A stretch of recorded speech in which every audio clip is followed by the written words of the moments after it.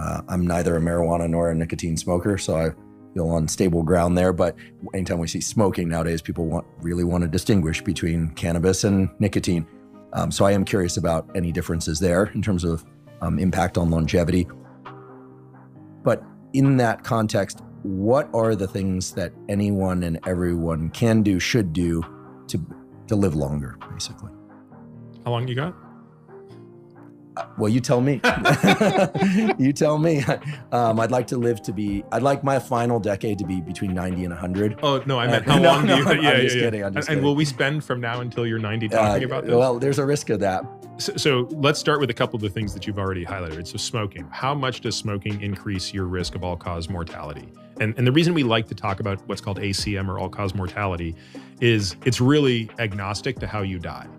And that doesn't always make sense. I mean, if you're talking about, you know, a very specific intervention like a anti-cancer therapeutic, you really care about cancer-specific mortality or heart-specific mortality. But when we talk about these sort of broad things, we like to talk about ACM. So, you know, using smoking, smoking is approximately a 40% increase in the risk of ACM. What does that translate to? And um, that means I'm I'm shortening my life by forty percent. No, it means at any point in time, there's a 40% great greater risk that you're going to die relative to a non-smoker and Got a never smoker. Yeah, yeah. So it's important to distinguish. It doesn't mean your lifespan is going to be 40% less. It means at any point in time standing there, your risk of death is 40% higher. Um, and by the way, that'll catch up with you, right? At some point, that that catches up. Um, high blood pressure. It's about a 20 to 25% increase in all-cause mortality.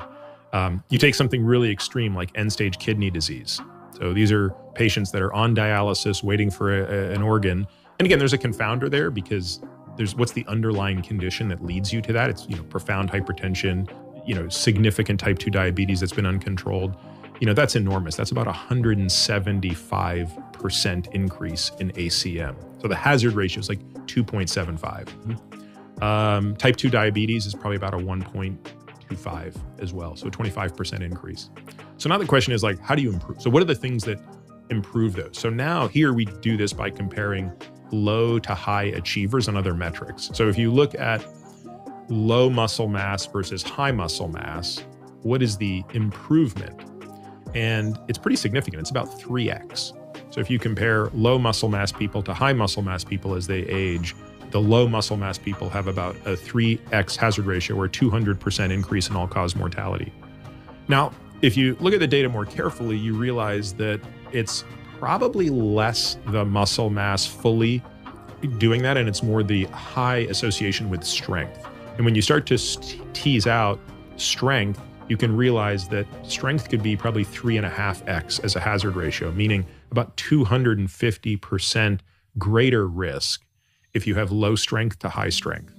And high strength is the ability to move loads at 80 to 90 so it's all of one defined it's, it's all defined by given studies. So some the most common things that are used are actually you know they're used for the purposes of experiments that make it easy to do. And i don't even think they're the best metrics. So they're usually using like grip strength um, leg extensions and like wall sits squats things like that. Okay.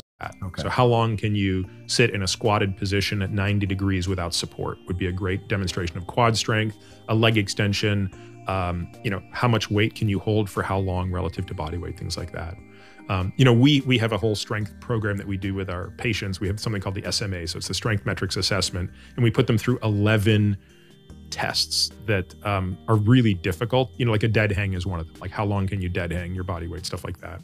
So we're trying to be more granular in that insight, but tie it back to these principles. If you look at cardiorespiratory fitness, it's even more profound.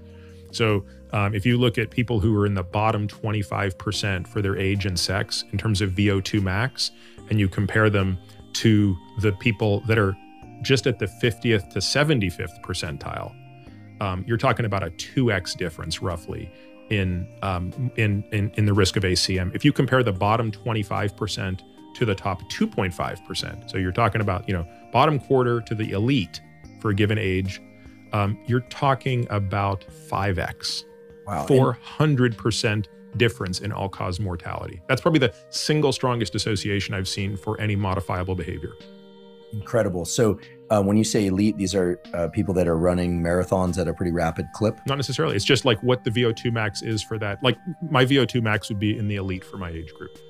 Uh, my VO2 max, you know, but but again, it's I'm, I'm training very deliberately to make sure that it's in that. So I wouldn't consider myself elite at anything anymore, but I still maintain a VO2 max that is elite for my age. I'd, I consider you an elite uh, physician and podcaster and guy all around, but true. Um, but in terms of okay, so but the, the point the, is like you don't have to be a world class athlete to be elite here. Yeah, yeah, got it. Um, eh, so maybe we could talk a little bit about the specifics around the training to get into that. Um, you know, top two tiers there because it seems that those are enormous positive effects of cardiovascular exercise, uh, far greater than the sorts of numbers that I see around let's just say supplement A or supplement well, and, B. And, and that's, and, you know, like this is my whole pet peeve in life, right? It's like, I just can't get enough of the machinating and arguing about this supplement versus that supplement. And I feel like you shouldn't be having those arguments until you have your exercise house in order. Um, you know, you shouldn't be arguing about your this nuance of your carnivore diet versus this nuance of your paleo diet versus this nuance of your vegan diet like until you can deadlift your body weight for 10 reps. Like then then you can come and talk about those things or something. Like let's just come right. up with some metrics like yep. Until your VO2 max is at least to the 75th percentile and you're able to dead hang for at least a minute and you're able to wall sit for at least two, like we could rattle off a bunch of relatively low hanging fruit. I wish there was a rule that said